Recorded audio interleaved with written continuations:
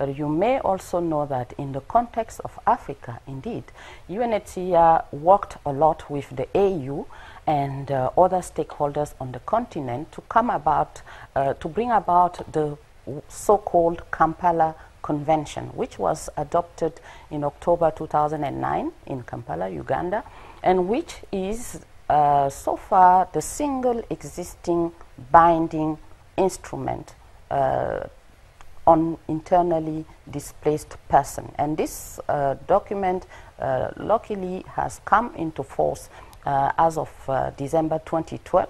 Nigeria has ratified the document uh, in question and Nigeria, we are actively working with Nigeria, including with the National Assembly and uh, a number of other stakeholders to see that this instrument that has been ratified by Nigeria uh, since May 2012 would be domesticated so that it can become implementable in the uh, context of Nigeria. So a lot is being done. We are also working with um, uh, stakeholders to see that a bill, a national bill on internal displacement would be enacted. There are drafts that exist and there is also a draft policy on internal displacement which my office has also helped drafting. We are uh, permanently on discussion with the stakeholders to see that these documents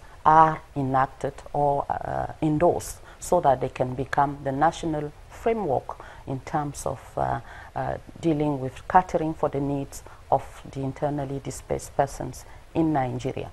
What kind of signal are you getting from them while you're discussing with them to the extent that uh, will proffer or at least come up with solutions to ending this crisis?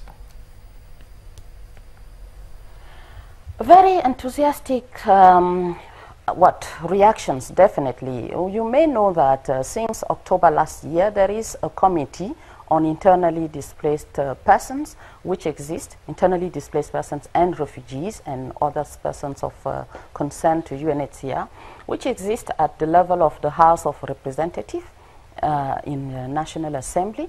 And that committee was actually uh, prompted to exist thanks to the advocacy of UNHCR.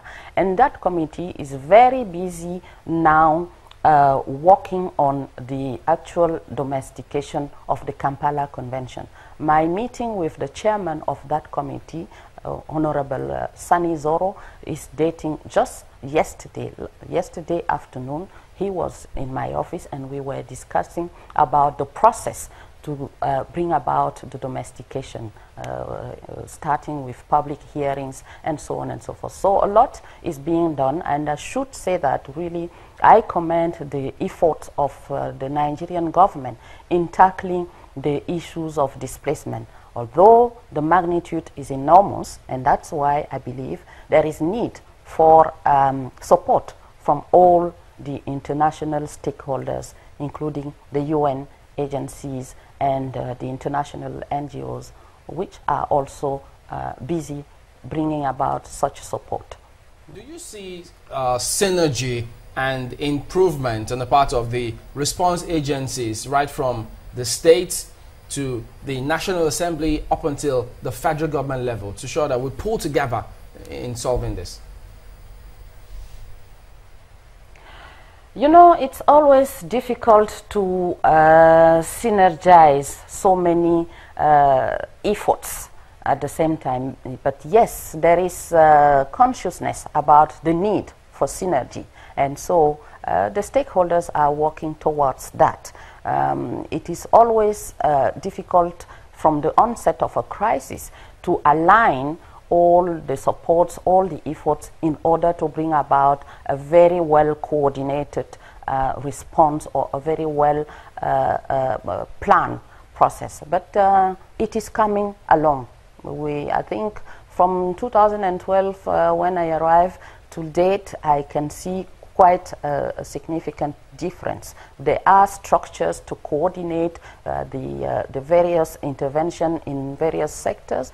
Uh, in the UN, we have, and the humanitarian community, we have organized ourselves uh, through a humanitarian country team which exists and meets every, every month.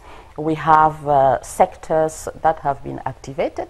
Some of them uh, actually since uh, the, the, end of 2012, and we are all working uh, in uh, yes in synergies, I should, I should say, with the government because all these sectors are co-led by uh, government uh, uh, entities or institutions.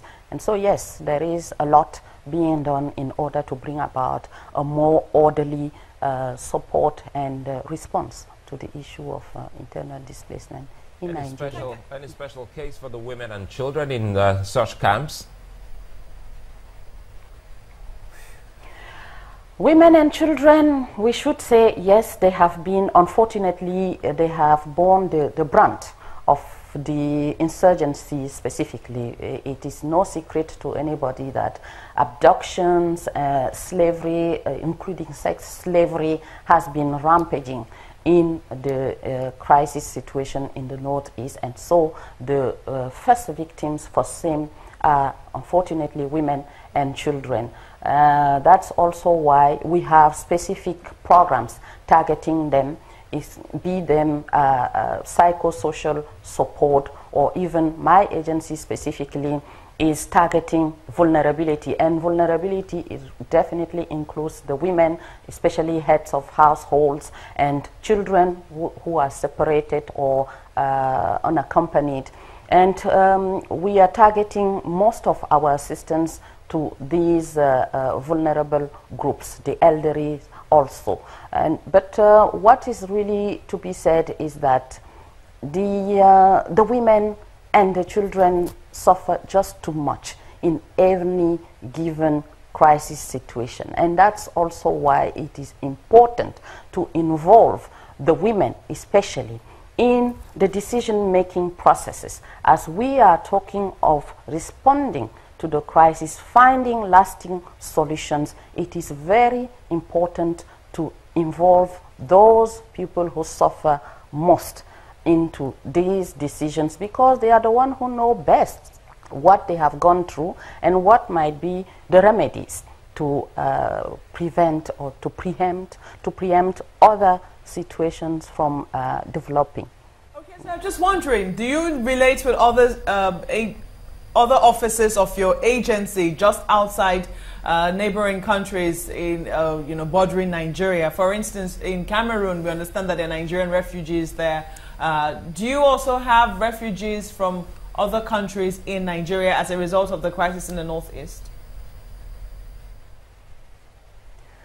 No, I don't have, uh, not that I'm aware of, not as a result of the northeast situation.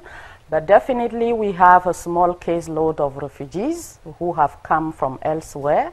Uh, we used to have actually some from Cameroon, but it was not due to the situation in the, the northern part of Cameroon.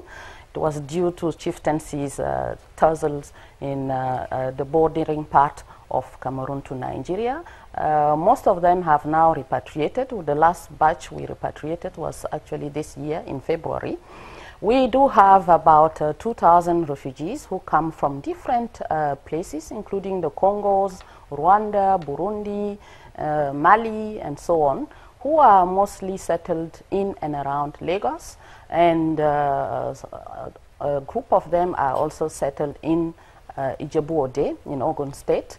And so we, we do uh, take care of them according to our mandate and uh, uh, providing uh, protection, ensuring that they find lasting solutions, including voluntary repatriation when okay. it becomes feasible.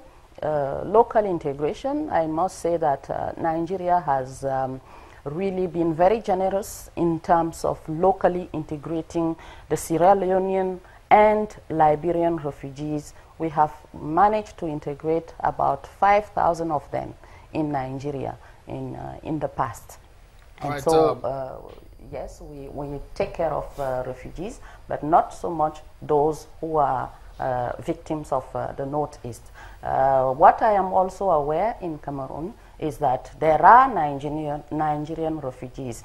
We have about close to 200,000 Nigerian refugees who have fled due to the, the situation in the northeast and who have sought asylum in uh, Cameroon, notably in uh, Chad also, and in uh, Niger. All right, and we- those uh, Nigerians are being taken care of right. by my um, colleagues who are uh, based in uh, those respective countries. And we are very much in contact, especially discussing the possibility of those Nigerians to begin returning when the situation is conducive. All right, then, uh, Angele Dikongue-Atangana, UNHCR rep to Nigeria and ECOWAS, thank you for talking to us today, and we wish you all the best.